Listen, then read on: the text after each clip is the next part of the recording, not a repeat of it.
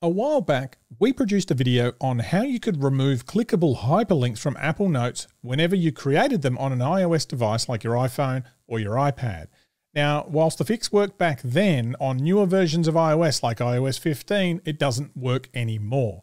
So, since a lot of people have commented, they've messaged us, they've asked for a solution that works in iOS 15, we had to come up with something. So, I found a workaround that'll stop these addresses or URLs or phone numbers from automatically becoming a clickable hyperlink. Now, I have to say up front though, before we receive any comments, this isn't an ideal solution because it does involve extra effort, but at least it's something you can do until Apple fixes the issue and produces a version of Apple Notes that allows us to decide if we want to prevent text from automatically becoming a hyperlink.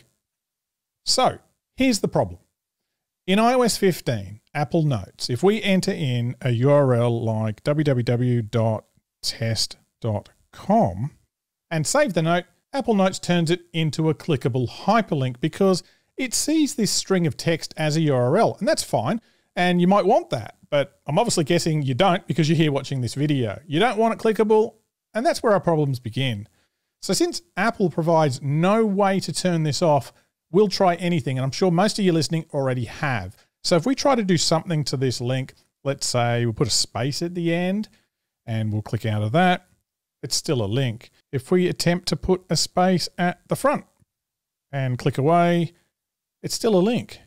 If we go and do something else like put a dot at the end, still a link. And if we try the obvious other one to put a dot at the front, it's still a link, even if we try to put something else like a, a letter at the end. That's still a link. And of course, if we do the same at the front, it's still a link again. So, and in any event, any of these options just looks dumb and it doesn't read properly. This thing is so frustrating. So here's the solution that I've found. Now, even though I just demonstrated that a space, effectively a blank space, doesn't work, I discovered if I paste a specific Unicode blank character at the end of our text. So let's do that. And then go ahead and delete the space that gets added at the front when we paste something. You can see it there. It is hidden between our hidden character and our URL. You can't really see it, but it is there. So let's hit delete. And now when we exit out, there's no link because our hidden blank character has broken the text string that Apple Notes determines to be a link, in this case, a URL. And to be clear, it's not a space, it's actually a legitimate blank character. This is really important. We can't see it, but it is there. And that's it.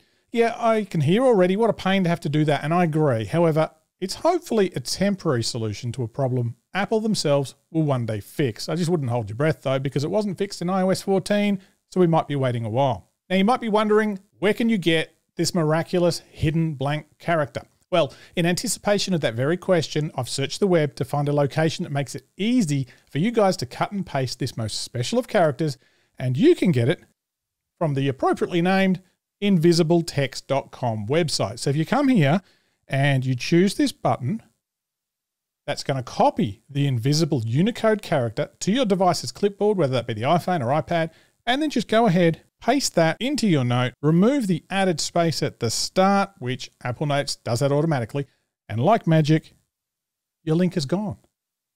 Now, let's do that again. Let's do it on a number. This time we'll say 99998888. And I apologize ahead of time if that's your phone number. Now, you can see if I X out of that, it's clearly converted into a link. So let's add in our invisible character. Let's just paste that in. We'll remove the added space. Let's get out of that. And again, it's no longer a link. So that works fine there as well. Now, if you do plan on using this special blank character as a method of removing your hyperlinks though, I'd probably make your life a little bit easier by simply going ahead and creating a new note. Since it's already on our clipboard, we can just paste it in there. So it's now just a simple copy and paste away for you to use it at any time you like, just in case you lose that original website link. And if you want to make it one less cut and paste, well, you could use a text replacement for the space and that'll automatically get inserted whenever you type something else. So this is what I mean. Let's go to our settings. We're going to choose general. We'll find our keyboard option. We'll go to text replacement and tap plus in the top right. And we'll have two fields here, a phrase and a shortcut.